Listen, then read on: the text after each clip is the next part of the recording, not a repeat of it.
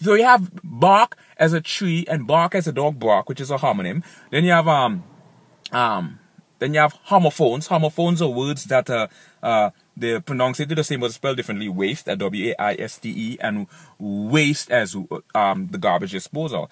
And then you have homographs, wind and wind. This is more contingent on syntax now. So they spell the same, they pronounce it, but they may or may not be pronounced the same. So you have homonym, homophones, homograph. Now we're getting into...